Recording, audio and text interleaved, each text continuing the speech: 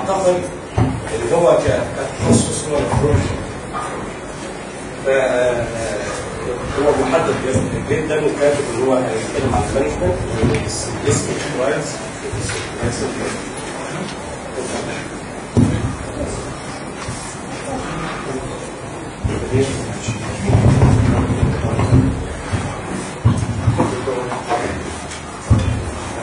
السلام عليكم. طيبين طبعا يعني شرفني وجودي في ال course معاكم وبشكر الأستاذ دكتور حسين طبعا دعوته الكريمة. وان شاء الله يا رب يعني نقدر نقدم النهارده الموضوع يكون بسيط كده ويكون خفيف. وإحنا النهارده إن شاء الله هنتكلم على ال resistant hypertension وبالذات يعني أنا هحاول أعمل focus على ال recent methods treatment of resistant hypertension أنا ليه حبيت اتكلم عن الموضوع ده بالذات أو القصة دي بالذات لأن إحنا already بدأنا عندنا في عين شمس نعمل ال- الموضوع ده. بدأنا عيانين قسم القلب ويبدأوا يعملوا معامل management زي ما إن شاء الله نتكلم عنه دلوقتي صوت واضح؟ طبعا يعني بادئ بدأ طبعا أكيد اغلبيتنا عارف يعني إيه كلمة resistant hypertension أو إمتى أقدر أقول إن العيان ده عنده resistant hypertension طبعا هو تعريفات كانت كتير وبدأ يحصل upgrade بالتعريفات. كانوا زمان بيقولوا إن العيان ده يقول عنده resistant hypertension لو كان بياخد ثلاثة classes of different antihypertensive drugs of maximum dose of إيه؟ of maximum dose تمام؟ وبالتالي وكذلك لم يصل إلى ال target blood pressure control اللي أنا عايزه اللي هو يبقى أقل من 140 إكس تمام؟ recently بدأ التعريف ده يتغير شوية. قالوا ان هي مش ال maximum dose بتاعت ال drug قالوا ان يبقى ال optimal dose بتاعت ال drug وبنتكلم ان إحنا بندي زي ما قلنا ثلاثة different classes برضه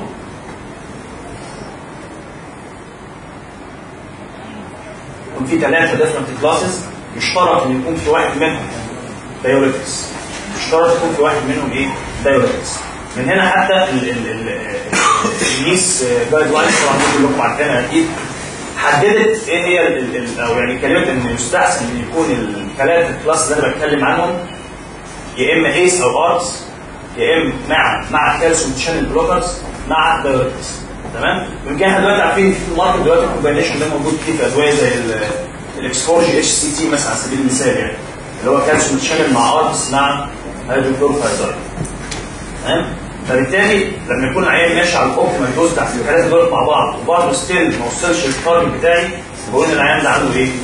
resistant hypertension لكن الرقم ده بيختلف شوية في عيانين ال chronic kidney disease أو عيانين ال diabetic ان أنا بقول ال target بتاعهم هنا يبقى 130 على 80 يعني لو العيان اللي هو ال diabetic أو ال chronic kidney disease اللي ماشي على ثلاثة class ف antihypertensive drugs زي ما إحنا قلنا كده. وما وصلش ل 130 على 80 أنا برضه ده بسميه resistant hypertension خلاص؟ طيب لو في عيان ماشي على أربعة class و controlled ده بقول عليه resistant ولا resistant؟ resistant even حتى لو ماشي على أربعة class بس controlled طالما وصل لدرجه بدي أربعة class وال drugs في نفس الوقت يبقى العيان ده برضه يقع تحت تعريف resistant hypertension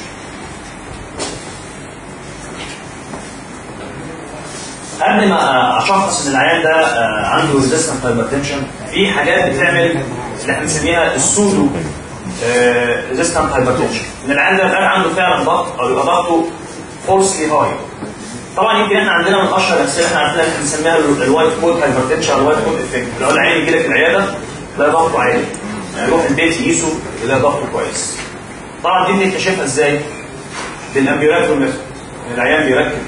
ambulatory blood pressure monitor يقيس ال blood pressure على مدار 24 ساعة وبعد ساعتها أقدر أعمل detection للقصه دي. الحاجة الثانية برضو اللي أنا برضو عشان قبل ما أتكلم العيان ده عنده resistant hypertension ولا لأ. إن أنا أتأكد إن العيان ده بياخد الدواء بتاعه ولا لأ. الحاجة دي فكره مهمة هي بسيطة تبدو بسيطة ولكن برضه لما تاخد history من العيان يعني اتاكد من الكلام ده. ممكن يكون عايز تجيب له دواء والدواء ده غالي عليه ما بياخدوش. تمام؟ فبالتالي ضغطه مش هيبقى مظبوط. فأنت ساعتها تقول الشخص هو resistant هو already أصلا عنده مش compliant بتاعه.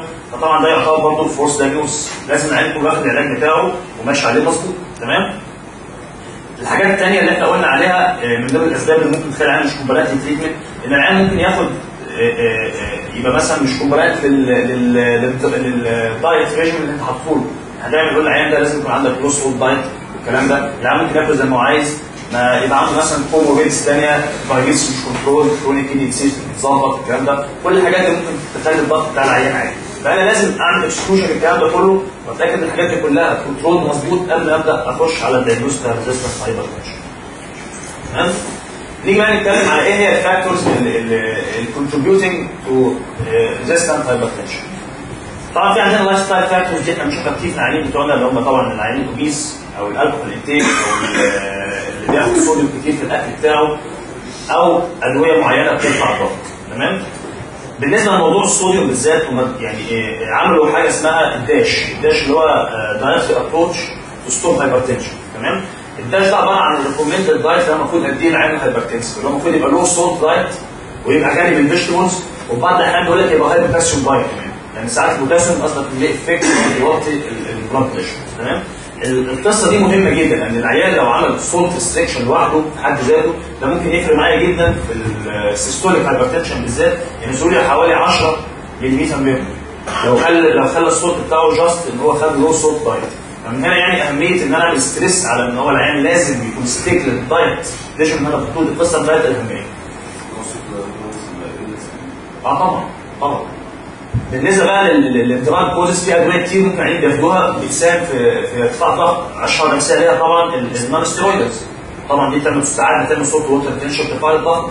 ال contraceptive pills بتعمل hypertension لو العيان بياخد steroid hormones أو steroid hormones بتعمل hypertension الاريثروبوتين كلنا عارفين إن عيانين renal لما بياخدوا ساعات erythropoietin over dose ممكن يعمل لهم hypertension فكل دي أسباب ممكن تؤدي إن العيان برغم إن هو بياخد علاج الضغط مظبوط بس still ضغطه مش controlled لو العيان ده عنده volume overload بسبب ان بياخد مثلا high salt intake أو ممكن يكون بسبب إن أنا اديته diuretic dose بس مش ال dose المظبوط. ال adequate؟ بس إحنا عارفين العيانين ال renal ساعات بنضطر على معاهم شوية بال diuretic dose وممكن أختار ال diuretics مش مناسب للعيان. يعني مثلا عيان ال kidney disease ال chronic kidney disease إيه أحسن diuretics استخدمه له؟ بالظبط. ال loop diuretic ده أحسن حاجة. في ناس مثلا بتدي ال thiazide مع عيان ال renal يبدأ ال GFR مش هيبقى كويس. فانت هنا العيان تديله already آه 3 class بس مش controlled لأنك أنت برضه ما اخترتش ال proper medication لل proper patient دي نقطة برضه في غايه الاهميه. النقطة الثانية اللي إحنا لازم ناخد بالنا منها إن إحنا لازم لما عيان يجي لك مش controlled أو ال blood بتاعه مش controlled إن أنا أدور على ال secondary causes دي تبقى حاجات مهمة وصغيرة في list كتير. لازم برضه نبقى إحنا oriented بيها. أنا ليه بقولها؟ عشان لما يجي لك العيان تطلب له ال proper investigation بتدور عليها. يعني مثلا من ضمن الحاجات اللي إحنا ممكن نشوفها ال primary hyperaldosteronism تمام تمام آه لو في له قلب طبعا مش هيشتغل بالظبط بالظبط. thyroid disease ال Cushing renal artery كل دي أسباب secondary causes ممكن تتعالج وبالتالي ممكن ال blood pressure بتاعي يبقى controlled لما عليه دي باختصار زي ما إحنا قلنا في الأول إيه هو تعريف ال resistant hypertension إيه هي الحاجات اللي أنا لازم أفكر فيها الأول قبل ما أقول إن العيان ده عنده resistant hypertension إيه هي أهم أسباب ال resistant hypertension لازم أدور عليها لما أشوف العيان. طيب. نتكلم بقى عن ال management وال resistant hypertension طبعا إحنا معرضنا الأسباب كانت management يعني هيبقى عبارة عن إيه؟ أول حاجة طبعا في life style modification أو في non pharmacological intervention وبعد كده إيه؟ ال pharmacological intervention على حسب المشكلة اللي عندي وعلى حسب ال secondary cause اللي أنا ممكن الاقيه في العيان وأبدأ أعمل معاه management طبعا من ضمن ال management إن أنا طبعا لازم أعرف إيه هي ال investigations اللي أنا ممكن أطلبها للعيان دوت لما يجي لي أنت جالك واحد دلوقتي عنده ضغط في العيادة وعنده بياخد أدوية كتير مش controlled هتطلب إيه؟ هنطلب طبعا أكيد لازم أطلب طبعا يوريا و electrolytes ده من أهم حاجة. أنت ممكن أصلا electrolytes تشخص بس تشخص كوشنج تشخص hyperaldosteronism بيبقى معاه إيه في؟ اللي هو hypokalemic hypertension صح؟ تمام. اليوريا وال electrolyte ممكن ألاقي الكريات عاليه يعني عنده عنده chronic disease ده من حد ذاته ممكن يعمل له hypertension volume overload وبيزود المشكلة تمام؟ يهمني ان أنا أشوف اللي عنده diabetic ولا لأ؟ طبعا أكيد يعني. يعني أنا طبعا diabetic يبقى already عنده cardiovascular morbidity و mortality يبقى عنده increased risk of hypertension بالظبط. وبالتالي برضه ال target بتاعه بيختلف زي ما قلنا عن العيان العادي. خلاص؟ طبعا دي إحنا يعني ما بنعملهاش في مصر كتير اللي هي ال plasma renin أو ال aldosterone level. المفروض طبعا بس طبعا أحيانا يعني يعني بتبقى صعب إن إحنا نعملها شوية عشان التكلفة والمعامل والكلام دوت. طبعا عشان لو أنا شاك في pheochromocytoma لازم أطلب طبعا 24 hour urine metanephrines تمام؟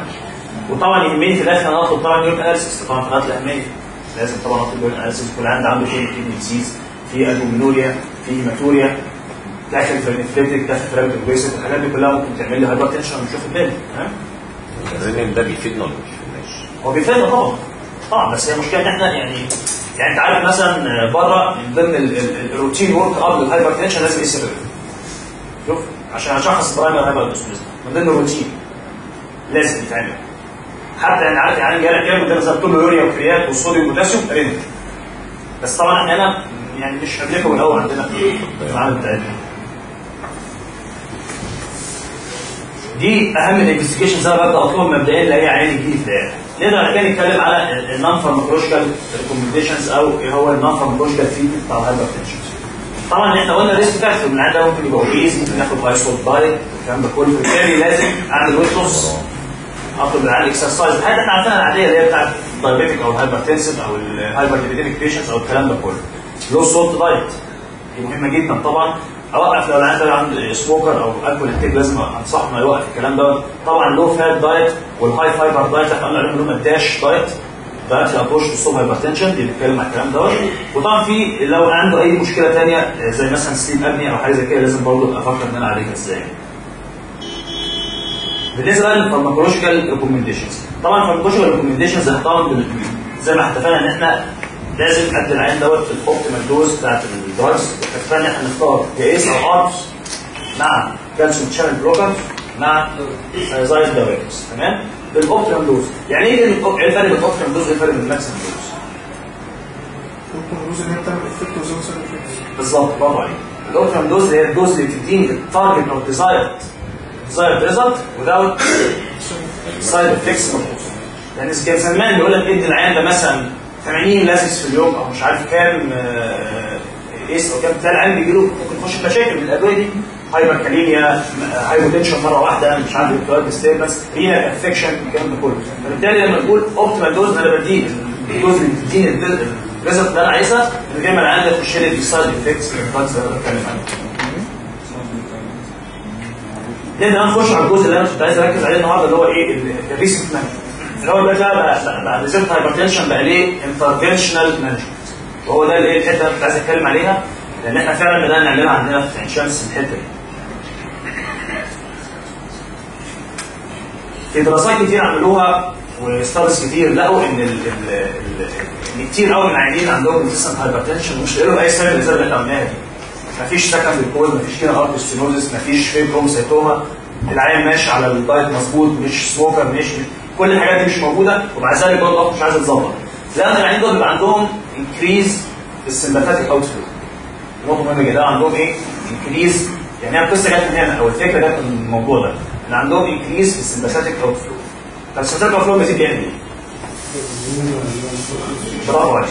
ده إحنا كل ده عارفين في الفسيولوجي طبعا هيزود ال renin activity ويعمل طبعا vasoconstriction وبالتالي هيزود لي peripheral resistance وبالتالي هيزود لي الله ينور عليك. وبالتالي يعمل لي مشكلة وهيزود لي blood pressure ويخلي ال blood pressure تريت تمام؟ طيب. طبعا زي ما الدكتور قال vasoconstriction و abnormal renal أو salt water handling عشان بيزيد الاستور وبيعمل salt water retention وبيحصل vasoconstriction ده نتيجة ال sympathetic outflow أو لما بتزيد ال sympathetic activity طيب. عايز أتكلم بقى بالاخص عن ال renal sympathetic innervation إحنا عارفين ما خدنا كلنا زمان إن في حاجة اسمها efferent في حاجة اسمها إيه؟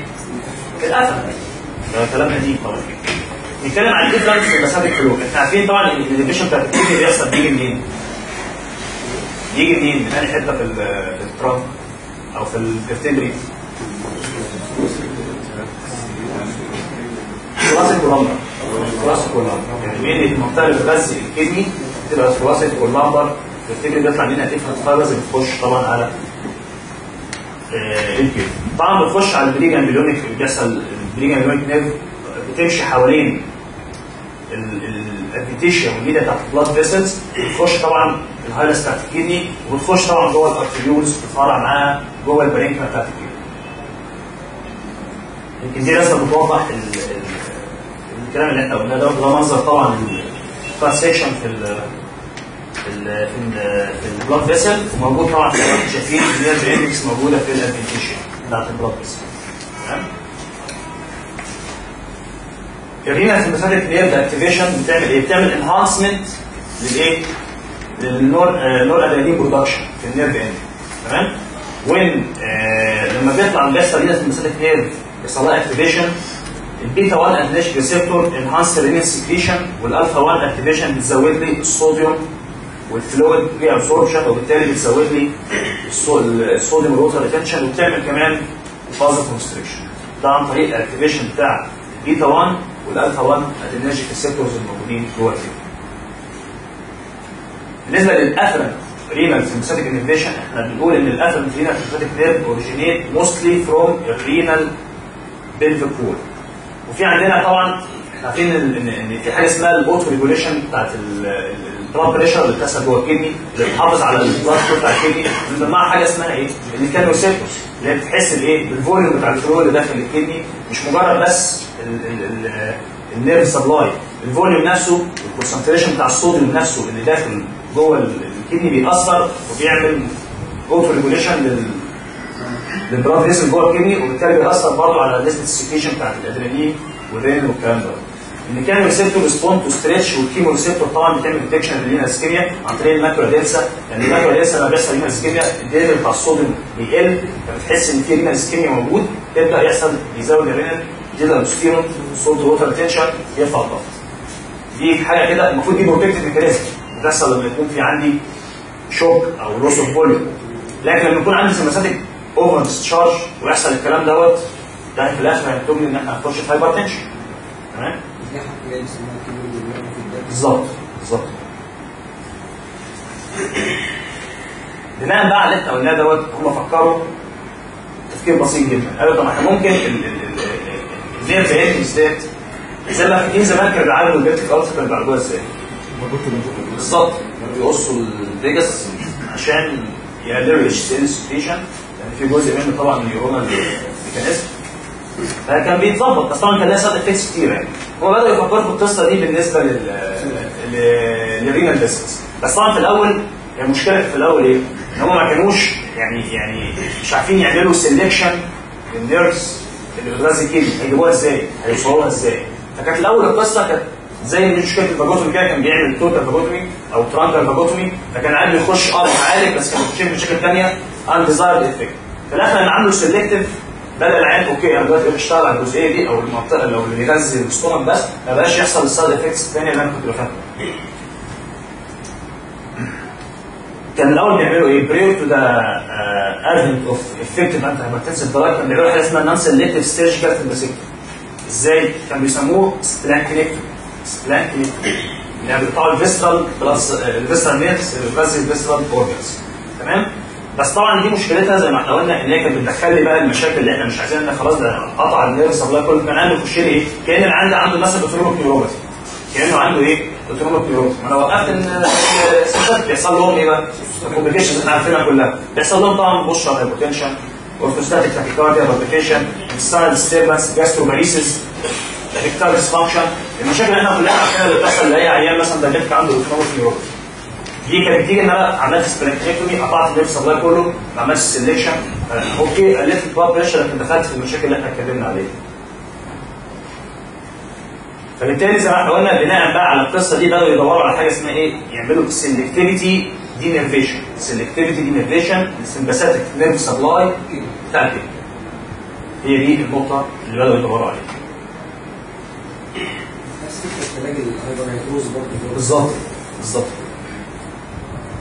القصة دي بقى سموها إيه؟ أو الموضوع سموها إيه؟ سموها ال Symplicity trial ال Symplicity trial دي دي عبارة عن يعني كان في بعض الناس اللي هم بدأوا إيه؟ يشتغلوها اللي هم اسمهم سوبو- سوبوتكا وكرام وكام واحد كده يعني بدأوا يعملوا اللي بنسميها كاستر بيست رينال دينرفيشن كاستر بيز رينال سمباثيك دينيفيشن رينال سمباثيك دينيفيشن كاستر بيز تمام؟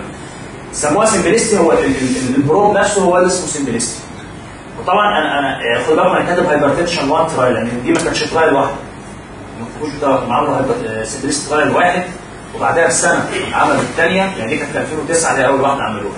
وفي 2010 عملوا واحدة ثانية وكتروا عدد العينين شوية.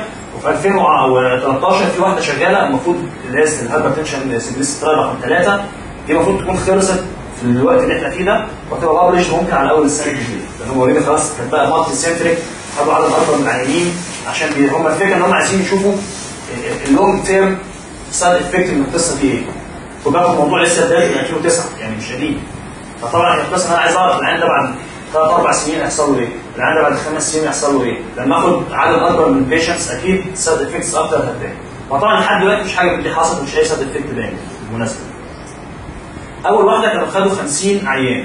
كانوا خدوا 50 عيان وعملوا لهم ablation لل catheter اللي هو عليكم شكلها دي دي اللي إحنا بنسميها Symplicity catheter بتخش عادي جدا لحد ال renal artery وتخش جوه وتعمل ablation لل renal artery في لحد ما توصل لل adventitia بتاعته ده ال circumferential كده ده المدور بحيث إن أنا كده وقفت كل ال sympathetic nerve supply اللي داخل الكيمي كلها.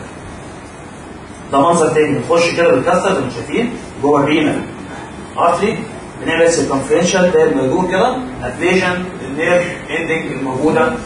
في الافكتيشيا بتاع ال renal artery تمام؟ فبالتالي أنا كده وقفت كل ال nerve supply أو ال sympathetic nerve supply اللي داخل ال kidney الستادي ديت بدأت تعمل follow up للعيانين بتعمل لهم القصة دي على مدار سنة على مدار سنة. لو تاخدوا بالكم شايفين ال reduction وال blood pressure عامل إزاي؟ مع مدار الوقت. يعني وصلوا إن في الأول خالص بعد أول شهر ال systolic نزل حوالي 14 ملم mercury وال diastolic نزل 10 في نهاية السنة ال systolic نزل حوالي 27 ملم mercury وال diastolic نزل حوالي 17 واخدين بالكم طبعا ده reduction ممتاز جدا على مدار سنة. أصلا ممكن لو اتعذبت مع العيان في العلاج صعب توصل 27 17 دي ارقام قوية جدا. أنا كده وصلت لل target ولو ناخد بالنا إن على مدار السنة دي ما حصلش أي side effect أو أي complication من القصة ديت. دي كانت أول trial عملوها. بعد كده عملوا ال trial الثانية نفس القصة برضه عملوها في 2010 بس طبعا زودوا عدد العيانين شوية. النتيجة بتاعتها برضه في الآخر إيه؟ لقوا إيه؟ ال conclusion في الآخر قال إن في significant increase في ال systolic blood pressure خلال ست شهور مقارنة بالعيانين اللي ماشيين على ال conventional medical treatment يعني هم جابوا العيانين ومان ال study بقى عملت حاجة حلوة. الثانية كانت ماسكة نفس العيان بتتابعه follow up study صح؟ دي بقى ماسكة بتقارن بتعمل comparison ما بين العيانين. بتعمل لهم التكنيك دوت والعيانين اللي ماشيين على ال original medical treatment طبعا لو تاخدوا بالكم اولا إيه رأيكم في في, نسبة ال reduction في آه، في العيانين اللي هم عملوا ال denervation كميه الأدوية اللي احتاجوها بقت أقل بنسبة 20% واخدين بالكم يعني سيدنا عادي مثلا كان بياخد جرعه معينة عملت له reduction في كم الأدوية اللي بياخدها بنسبه 20% طبعا دي حاجة مهمة. بتقلل ال cost بتاع الأدوية بتزود ال compliance بتاع ال treatment. أنا بدل ما العيان بديله مثلا 7000 قرص في اليوم 10 مرات في اليوم. نزلتها له بنسبه 20% وفرت له فلوس خليت فيه compliance أكتر وبالتالي جبت نتيجة أحسن. دي برضه على زي ما اتفقنا على على ال long term follow up.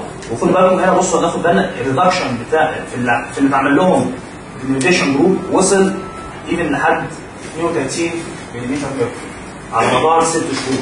في ال systolic pressure وحوالي 12 ملم mercury في ال diastolic pressure طبعا دي برضه نسبة significant وكويسة جدا.